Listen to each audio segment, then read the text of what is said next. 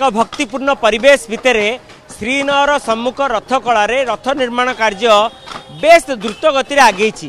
ଆମେ କହିପାରିବା ଯେଉଁ ନାହାକା ଚକ ସହିତ ଅଖ ସଂଯୋଗ କରାଯାଇଥାଏ ଦୁଇ ଦୁଇଟି ନାହାକା ଚକ ସହିତ ଭଉଁରୀ ତିଥିରେ ସେ କାର୍ଯ୍ୟ ଦ୍ରୁତ ଗତିରେ ଚାଲିଛି। ମାନେ କହିବାକୁ ଗଲେ ନାହାକା ଚକ ପୁରା ସମ୍ପୂର୍ଣ୍ଣ ହୋଇଗଲାଣି। ନନ୍ଦିଘୋଷ ରଥର ଦର୍ପଦଳନ ରଥର ଏବଂ ତାଳଧ୍ୱଜ ରଥର।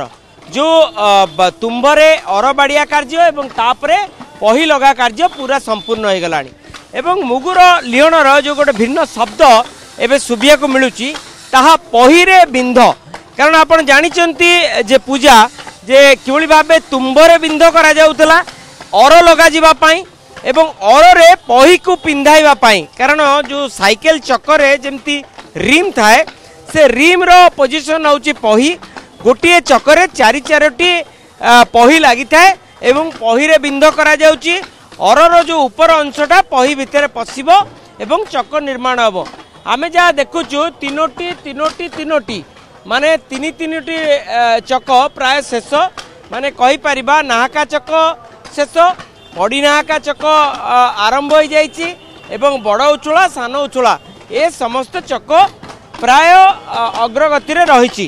ବଡ଼ି ନାହାକା ଏବଂ ବଡ଼ ଉଛୁଳା ସାନ ଉଛୁଳା।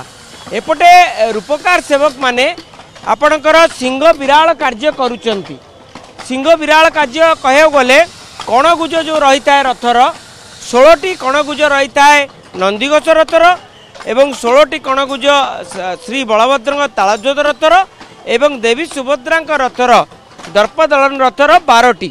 ଆମ ସହିତ ପଞ୍ଚାନନ ମହାପାତ୍ର ଅଛନ୍ତି। ପୁରା ବିସ୍ତୃତ ଭାବେ କୁହନ୍ତୁ ଯେ କିଭଳି ଭାବେ ସୌନ୍ଦର୍ଯ୍ୟକରଣ କାର୍ଯ୍ୟ ଚାଲିଛି ଆପଣଙ୍କର ନୃସିଂହ ଚତୁର୍ଦ୍ଦଶୀ ଜୟ ଜଗନ୍ନାଥ ଆମର ବର୍ତ୍ତମାନ ଉପକାରଙ୍କର କାର୍ଯ୍ୟ ଚାଲିଛି। ଯେହେତୁ ଆମର କଣଗୁଜରେ ସିଂହବିଳାଳ ନରବିଳାଳ ସିଂହବିଳାଳ କେବଳ କରାଯିବ। ପଟାଗୁଜ ଧିରେ ନର- ନରବିଳାଳ ଆଉ ସିଂହବିଳାଳ ଆପଣଙ୍କର ଗଜବିଳାଳ ଏସବୁ ଜିନିଷ ପଟାଗୁଜ ଧିରେ କରାଯିବ। ୟାପରେ ନାଟଗଡ଼ ଜିନିଷ ଅଛି ନାଟଗଡ଼ ବି କରାଯିବ। ଏମିତି ହେଇକି ସବୁ କାର୍ଯ୍ୟ ପାର୍ଟ ପାର୍ଟ ହେଇକି ସବୁ ଅଛି। ଆମର ବହୁତ କିଛି କାମ ବି ଅଛି। ବା ଆଗକୁ ସିଂହାସନ ଅଛି ପର୍ବା ଅଛି।